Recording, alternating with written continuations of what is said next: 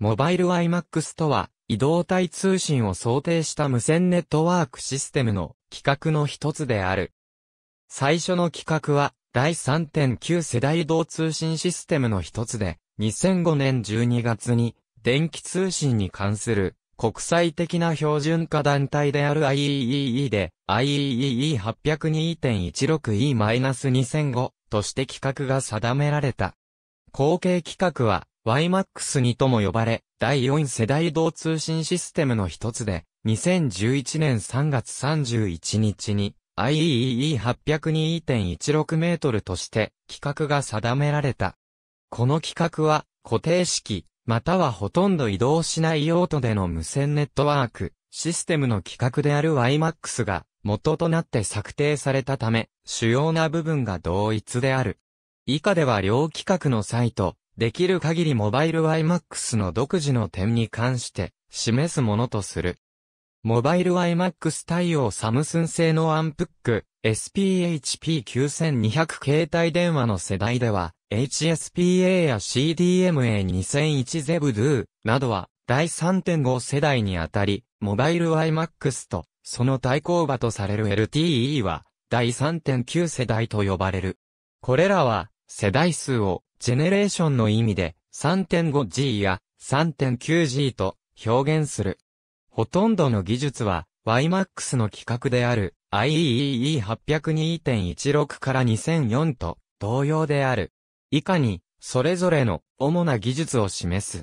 また新方式にはフロッピーディスクドライブと TDD の2つの方式があり、モバイル YMAX では TDD が規定されている。フロッピーディスクドライブは携帯電話でも採用されている上りと下りで別の周波数を使用する方式であり、有線通信ならば4000式、全二重通信にあたる。TDD では、上りと下りを同一の周波数を使用して、ミリ秒単位で上下を切り替える方式であり、有線通信での2000式半二重通信に近いが、TDD は両端部で時間軸に対して圧縮と転調を行うことが前提である点では異なる。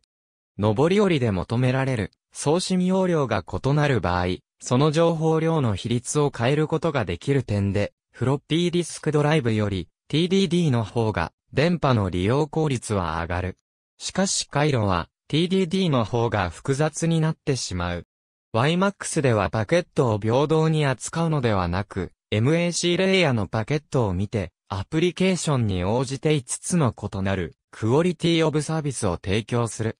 2006年3月に IEEE802.16J が発足し、マルチホップリレーに関するタスクグループによって標準化作業が開始された。マルチホップリレーには、透過型中継モードと非透過型中継モードがある。いずれの場合も、本技術が関係するのは、一つの移動局に対して、マルチホップリレー対応基地局と、マルチホップリレー中継局という二つの固定無線局である。両モードとも移動局が基地局より中継局の方が近い場合に移動局と基地局間の無線データ通信を中継局が中継する点では変わらない。また、ホッピングはいずれも1回のみである。基地局の通信エリアであるセルを超えて移動局が移動し次の基地局のセルに入っている時に通信を担当する基地局を切り替える仕組みである反動オーバーは IEEE802.16E では4つの方式が規定されている。これらは通信が途中で一度途切れる2種類のハードハンドオーバーと通信が途中で途切れない2種類のソフトハンドオーバーである。移動局は携帯機器が想定され内蔵電池の消費を抑える必要から通信に関わる2つの省電力化技術が規定されている。YMAX 規格では、ARC と呼ばれる誤り検出訂正技術が必須として規定されていたが、モバイル YMAX 規格では新たに FEC を含む HARC が必須とされた。ミモの動作概要2つの送信アンテナから A1 と A2 という信号が出て、それぞれが合成されて2つの受信アンテナで B1 と B2 という信号になったとき、受信アンテナ1で受けた受信信号 B1 は元の A1 と A2 に、経路ごとの伝達特性 H11 と H21 をかけて足し合わせたものに等しくなる。受信アンテナ2で受けた受信信号 B にも同様である。このため、伝達特性 H11 と H21 が分かれば、元の送信時の信号 A1 と A2 が逆算できる。ミモでは、事前に電波状況を調べるためのパイロット信号やパケット、そのものの最初に、信号経路の伝達特性を常時把握して、合成された信号を分離している。YMAX では、複数のアンテナを使用して、通信速度や通信品質を確保する技術がオプションとして規定されている。YMAX ではもともと通信速度向上のためのミモが規定されていたが、モバイル YMAX から通信品質向上のための技術として AS と STC が追加で規定された。モバイル YMAX の後継規格は IEEE802.16 メートルであり、2011年3月31日に承認された YMAX2 とも呼ばれる ITU の定める第4世代移動通信システムの一つ。現在と次世代とのモバイル YMAX 規格の比較を以下に示す。IEEE802.16 メートルでは、マルチホップリレー機能や、フェムトセルへの対応や、QoS の具体的な数値化が予定されている。YMAX2.1 の小型基地局 YMAX2。例の使用に加え、TD-LTE との互換性を持たせたものは、YMAX リリース2.1と呼ばれる。このため、TD-LTE の使用の一部である都合上、W、CDMA サービスや LTE サービスと同様、UM カードを採用した認証を行う形になっている。UQ コミュニケーションズでは、従来の UQ、YMAX の後継サービスとして、YMAX2、1アディショナルエレメンツを利用したサービスを YMAX2 プラスのブランド名にて導入した。2013年6月24日に総務省に対して特定基地局開設計画の申請を UQ コミュニケーションズが行い、2013年7月29日に新規割り当てて 20MHz 分を正式に取得。既存 30MHz 分を含め 50MHz での運用で、2013年10月31日に下り、最大 110Mbps で YMAX2 プラスサービスとして開始した。また、2015年3月5日よりより最大 220Mbps に高速化。通信量の制限は、下り最大 220Mbps の場合は3日、3GB で、これを超えると折最大 700kbps になる。時速 350km の高速移動中の通信にも対応する。4にミモからサービスを開始し、4にミモ44ミモ88ミモ、キャリアアグリゲーション 256QAM、変調方式などを順次導入していき、2016年以降に、下り最大 440Mbps、2020年には、下り最大 1GBps 超を目指す予定。UQ コミュニケーションズの MVNO として、KDDI 沖縄セルラー電話が提供するサービスは YMAX2 プラスオプションと称する。IEEE での標準化後、2009年2月現在、すでに日本と米国、韓国で商用サービスが始まっている。固定 YMAX は世界で118カ国、305のサービスが始まっており、モバイル YMAX は始まったばかりでまだ数えるほどである。UQ コミュニケーションズ株式会社は2009年2月26日から東京23区、横浜市、川崎市で試験サービス UQIMAX を開始した。7月1日より優勝サービスが開始された。2009年7月1日に IO データ機器から USB アダプタが発売になった。これにより、UQ コミュニケーションズの純正品に加えて2つのモバイル YMAX アダプタ製品が市販されることとなった。サービスエリアは最初期の頃には基地局開設にあたり機器トラブルが多発し伸び悩んだが、その後は KDDI 系の基地局を積極的に利用併設、特に Q 通貨の基地局跡地を再利用することで、基地局設置に関する交渉及び契約が不要なこともあり、爆発的にエリアを拡大している。2013年10月31日からは、YMAX2 プラスのサービスを 110Mbps で開始し、2015年2月からは、キャリアアグリゲーション技術を利用して、最大速度を 220Mbps へと増速、220Mbps への増速に必要な帯域を確保するため、増速したエリアでは、従来のモバイル YMAX は 40Mbps から13、3Mbps へと減速した。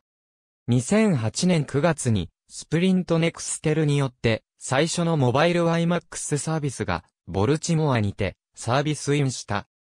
スプリントネクステルの当初計画では、2008年中に1億人をカバーする全国展開を予定していたが、大幅な出遅れと LTE 側の進展に鑑み、独自に固定の YMAX ネットワークを展開していたクリアワイヤと共同することを選んだ。2008年5月に両社はクリアワイヤとスプリントネクステルの XOHM business unit の合併を発表し、スプリントネクステルが新クリアワイヤの54%株主となり、以後の YMAX ネットワークの建設は、新クリアワイヤが行い、スプリントネクステルの消費者向け YMAX サービスの販売は、引き続き、スプリントネクステルが行うことになった。しかし、その後も、全国ネットワーク構築の遅れ、端末の品揃えなどの問題により、YMAX の加入者数は伸び悩んだ。2011年には、両社協、YMAX から LTE へシフトする方針を発表した。その後、2013年7月には、クリアワイヤは、スプリントの100%子会社となり、同時に、スプリントは、ソフトバンクに買収された。2015年7月現在でも、スプリントによる YMAX ネットワークはサービスされているが、新規端末販売及び既存端末のアクティベーションはすでに行われていない。さらに2015年9月には、2015年11月6日に YMAX ネットワークを停波することを発表した。YMAX とは ABCDEFGHIJKLM ボイス、ワークチョ、YMAX がわかる技術評論者2008年9月10日、初版第一冊発行 ISBN9 兆7847億7413万5625インプレス社のページ、ハンドオーバーと誤り訂正、アンテナ技術の不明な点で参照した。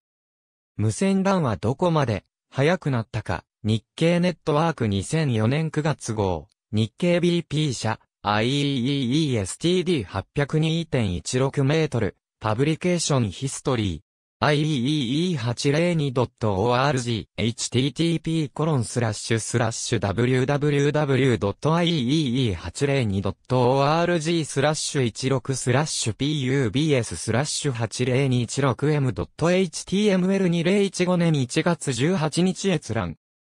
UQ、野坂社長、事実上の 4G、YMAX の魅力をアピール。携帯ウォッチ、http コロンスラッシュスラッシュ k-tai.impress.co.jp スラッシュ docs スラッシュイベントスラッシュ wj2010 スラッシュ20100715 38703 html ハット次世代サービス WiMAX2 プラスについて UQ コミュニケーションズ2013年7月30日閲覧。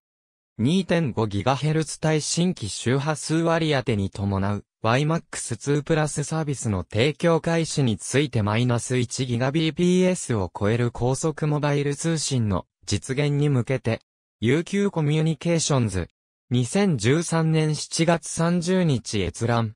世界初44ミモ対応 Wi-Fi ルーター。スピード Wi-Fi Next WX01 の発売について、UQ コミュニケーションズ、2015年1月18日閲覧。受信最大 220Mbps YMAX2 プラスキャリアアグリゲーション 4GLTE に対応した超快適モバイルルータ、スピード Wi-Fi Next W01 が登場2015年。KDDI 株式会社。2015年1月18日閲覧。速報、 UQ WiMAX2 プラス発表会。下り 220Mbps のヤバい速、容量無制限謳うギガ放題、新ルータなどを発表。 Engadget Japanese 2015年1月18日、閲覧。